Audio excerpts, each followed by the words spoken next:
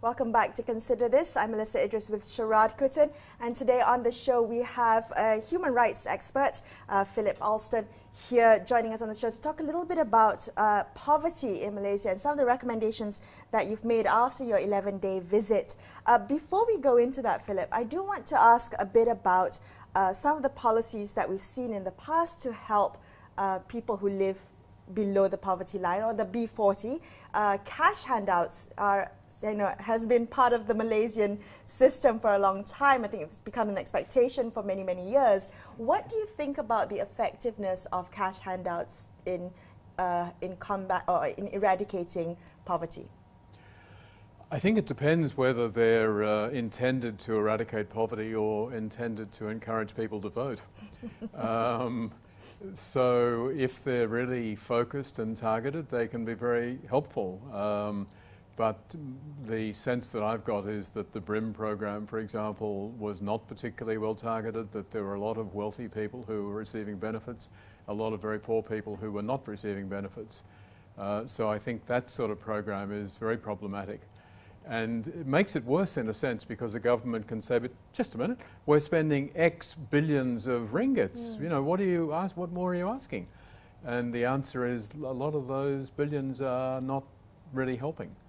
I do want to ask, though, you know, we had in the BRIM program uh, recipients numbering, I think initially in the first iterations, uh, about um, 8 million and then lower. Now, that's a huge number of people who are getting government help on the basis that they need help or they're, they're vulnerable. Uh, this is the same government that, uh, doesn't, that says that it doesn't have much poverty. So there seems to be a contradiction here. I mean, uh, conceptually, where's the country to go? I mean, says not, some people uh, need this money. At the same time, only 0.0%, 4% are actually poor. I think the justification that government would put to you is that what we're talking about with the poverty line is people who are really hard up, can't survive on their own. But once we get above that, once you get into the B40 territory, then you've got a lot of vulnerability. And that's true that, you know, if you look at the average savings of, I think, 40, 50% of the Malaysian population, uh, they don't have enough to get themselves through retirement or to even cope with a, a sudden disaster, medical or otherwise.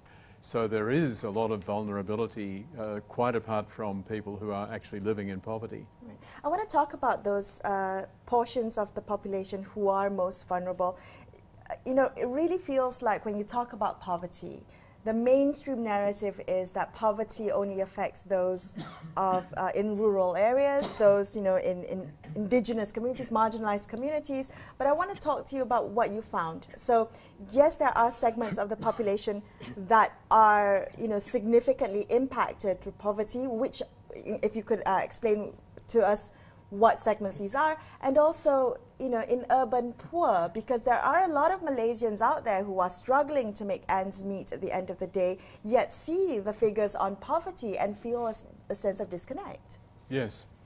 Um, so the poor are, it's a very varied group, and as you say, the difference between urban and rural can be very different.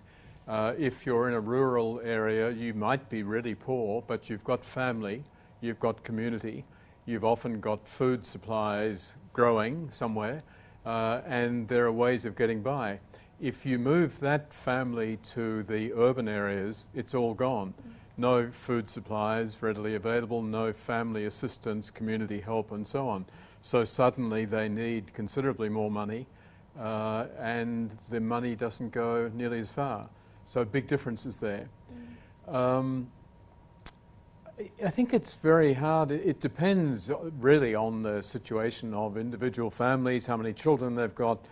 Uh, if there's a single parent involved, particularly a single mother, who are the overwhelming majority of single parents, they're always in very difficult situations. Uh, indigenous peoples, particularly in Sabah and Sarawak, right. um, are often uh, not at all well off. Um, you've certainly got, but Malaysians don't count this, uh, the foreign population. Um, but if you've got a population of 32 million or however many, uh, and you then have some estimates go up to 6 million in terms of foreign workers, wow. Uh, documented a, and undocumented. Yes, the two together. That's a huge number, and those people are by definition not getting assistance. Uh, and some of them are getting really low wages. They're not getting the minimum wage. They're supposed to, but there's no enforcement at all. And so that adds a lot to poverty.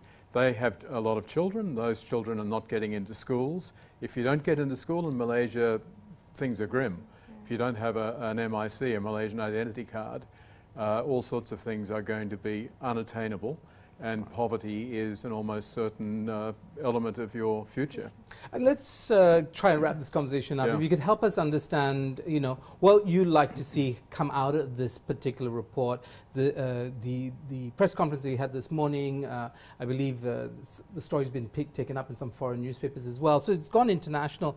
Uh, we have about a minute left. What would you like us to focus on? You've had you have recommendations that are fairly general. What is it that you think we need to first do? Okay. So, as I said, first recognize that there really is significant poverty and that has to be addressed. Second, be transparent about the statistics. Third, take social protection seriously. That's a sort of life cycle thing from uh, young children who are not fed enough all the way through the elderly, the retired, and so on. What's required there is an increase in social spending. Malaysian levels of social spending are lower than any of its neighbours uh, in terms of GDP, despite the wealth that's in this country. There's very little money going into social protection.